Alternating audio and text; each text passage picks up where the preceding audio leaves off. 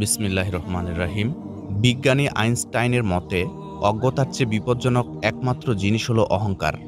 হয়তো ক্লাসের সবচেয়ে খারাপ রেজাল্ট করা ছাত্রটিকে আজ আপনি অপমান করলেন।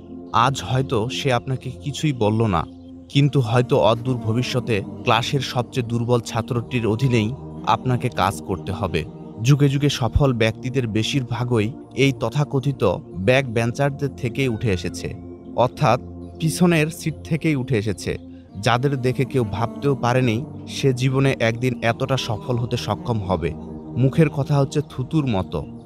একবার মুখ থেকে ফেলে দিলে তা আর ফিরিয়ে নেওয়া সম্ভব নয়। তাই কথা বলার সময় খুব চিন্তা করে বলা উচিত। কখনোই ভাগ্য নিয়ে অহংকার করবেন না। কারণ একদিন হয়তো ভাগ্য আপনার অনুকূলে থাকবে না।